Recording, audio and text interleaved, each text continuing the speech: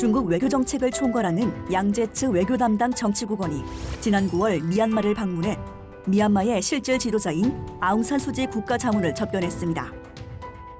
두 정상의 주요 의제는 중국 미얀마 경제 회랑이었으며 양국은 38개 CM20 사업의 지속 추진을 재확인했습니다.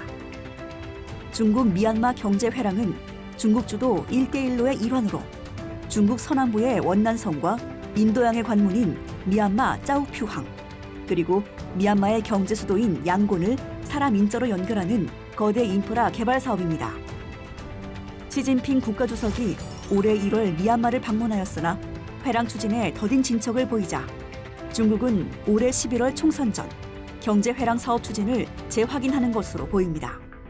중국은 2017년 5월 인도의 보이콧으로 방글라데시, 중국, 인도, 미얀마 경제 회랑 추진이 불투명해지자 대안으로 짜우퓨 항을 통한 인도양 진출로인 CMEC를 미얀마에 제안했습니다. 동남아 최빈국으로 막대한 인프라 개발 수요를 지닌 미얀마는 중국의 일대일로 참여 외에 대안이 부재한 상황으로 이러한 이해관계에 따라 양국은 2017년 12월 중국 미얀마 경제회랑 건설에 합의했고 미얀마는 CMEC를 통해 일대일로에 참여하고 있습니다.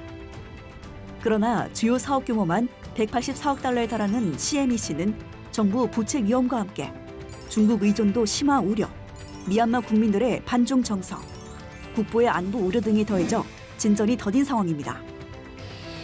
중국에게 미얀마가 지니는 지정학적 가치, 미얀마의 정치 상황, 개발 수요 등을 고려할 때 양국의 협력은 보다 강화될 것으로 전망되나 인프라 협력의 속도는 CMEC의 위험을 관리하는 데에 양국이 어느 정도로 협력할 수 있을지에 달려 있습니다. 아웅산 소지 국가자문은 양국의 경제 회랑 사업이 지속 추진되기 위해서는 미얀마의 국익에 부합하는 양질의 인프라 개발 사업이어야 함을 강조하고 있습니다.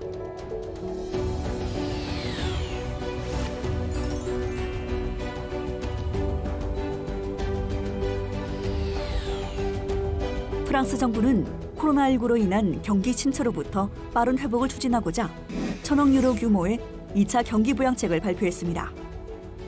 지난 6개월 동안 프랑스 정부는 코로나19 위기에서 프랑스 경제를 살리기 위해 노력해왔으나 올해 2분기 경제 성장률은 마이너스 13.8%로 2차 세계대전 이후 최저치를 기록했습니다.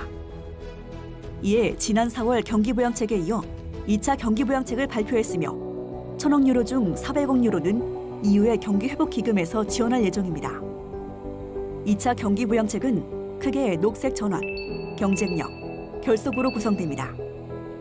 녹색 경제 전환에 300억 유로를, 기업 감세 혜택, 미래 기술 투자 지원으로 산업 경쟁력을 제고하기 위해 340억 유로가 지원됩니다.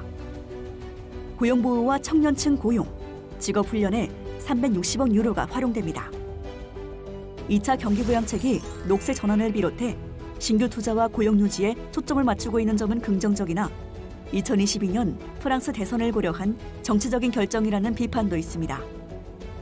프랑스의 2차 경기부양책을 두고 긍정과 비판의 의견이 상존하는 가운데 경기부양책이 효과를 내기 위해서는 투자 지원을 받은 기업들이 고용 유지와 투자 확대와 관련해 실질적인 행동을 취하는 것이 중요하다는 분석입니다.